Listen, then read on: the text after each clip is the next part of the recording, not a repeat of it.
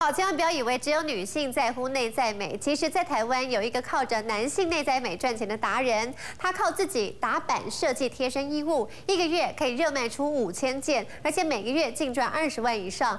他说着一口这个内裤精哦，老板八年前就发现说这个有内裤卖的比整组的床单都还要贵，他就很纳闷说为什么？认为这当中应该有商机可以发掘，想不到误打误撞，他靠着自己设计、发挥创意，还有坚守品质，在景。寒冬中，竟然被他杀出了这条血路。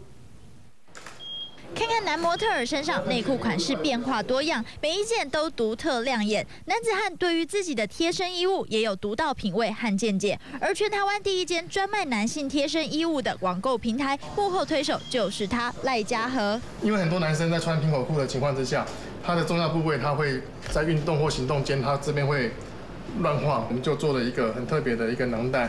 那保持在行进间的时候，它会固定住。别以为只有女性在乎内在美，赖老板却专做男性内在美生意。八年前，他是家用品的采购主管，怎么样就是不明白，一件男性内裤怎么卖的比整组床单还贵？其中商机一定很大。进入这行才发现，台湾人身形介于欧美与日本之间，一件好内裤多么难寻。市面上国际大厂牌内裤又贵又不适合台湾男性。我们的是。专门为台湾的男性在重新设计打版的，所以说在服帖度上面会比较好。那就是服帖而不紧绷，所以是全部都是台湾做的。自己开版设计，更坚持 MIT 保证品质。眼看八年过去了，也养了一批死忠粉丝，以一件一百五十元的便宜单价冲出销量，以量制价，一个月热卖五千件以上，每个月还能赚进二十到三十万。网拍回购率高达百分之七十，甚至卖到新马等地。别人是景气寒冬，老板的内在美专卖仍是生意强强棍。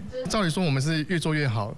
那男性市场的话，我们在二零零八年金融海啸的那一年，那其实是反而生意做最好，大环境。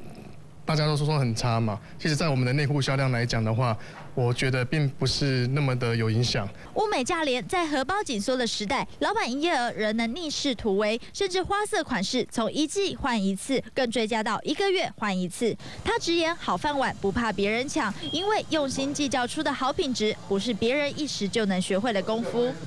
东森财经新闻，吕佩勋、宋云章采访报道。